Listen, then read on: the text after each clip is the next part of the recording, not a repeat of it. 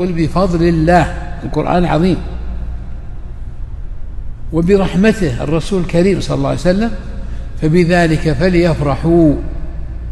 جعلناه من الفرحين بذلك. هو خير مما يجمع من الدنيا وما فيها كله. هذه لا بد أنها تكون على البال ولا بد من التذاكر بشأنها. وأن الإنسان إذا قرأ القرآن يقرأ بتأني وترتيل وتدبر. وإذا أشكل عليه شيء يسأل.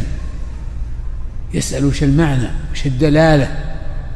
وش استفاد من الآية هذه؟ حتى يزداد علما.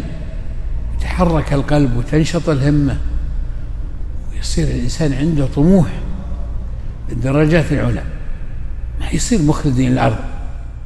واتل عليهم نبأ الذي آتيناه آياتنا فانسلخ منها فانسلخ منها فأتبعه الشيطان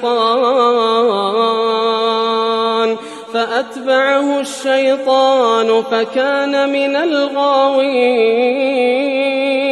ولو شئنا لرفعناه بها ولو شئنا لرفعناه بها ولكنه أخلد إلى الأرض. ولكنه أخلد إلى الأرض واتبع هواه. ولكنه أخلد إلى الأرض واتبع هواه. فمثله كمثل الكلب.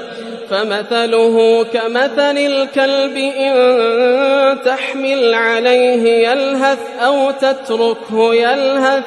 ذلك مثل القوم الذين كذبوا بآياتنا. فاقصص القصص لعلهم يتفكرون. المؤمن يتأمل أنه يرفع إلى السماء إلى الدرجات العلى.